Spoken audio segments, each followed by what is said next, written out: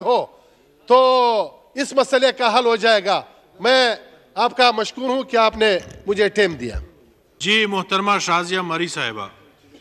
आ, बहुत शुक्रिया deputy speaker साहब।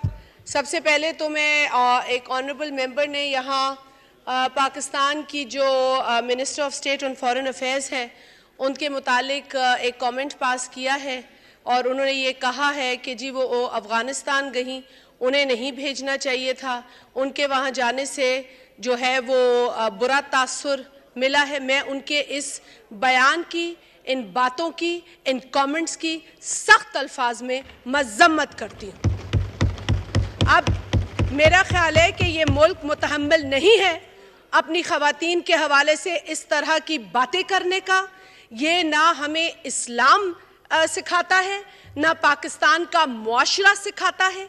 ये कुछ ऐसे तंग नज़र लोग हैं जो चाहते हैं कि औरत को घर में, कमरे में बंद कर दिया जाए, जहाँ उसकी चीख तक सुनाई ना दे। मैं डेप्यूटी स्पीकर साहब, ना सिर्फ़ इस बयान की, मगर ऐसी तंग नजरी की भी सख्त अल्फाज में मजम्मत करती हूँ।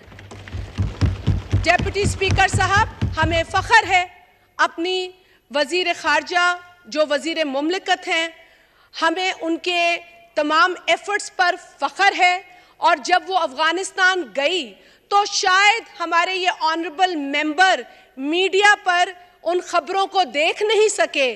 पाकिस्तान के अंदर नहीं, दुनिया में इस बात को सराहा गया कि पाकिस्तान ने अपनी खातून वज़ीर खारजा को अफ़गानिस्तान भेजा है, जहाँ तालिबान है, जहाँ औरतों को हुकूक नहीं मिलते, वहाँ पाकिस्तान बताता है कि औरतों के क्या हुकूक होने चाहिए। तो मैं समझती हूँ कि इस तरह के बयान अगर आइंदा भी इस फ्लोर पर आए तो जिस तरह मैंने आज मजम्मत की है, मैं दोबारा मजम्मत करूँगी और पूरा हाउस मजम्मत करेगा। इनफ इज़ इनफ जी, मौलाना कमालुद्दीन साहब जी।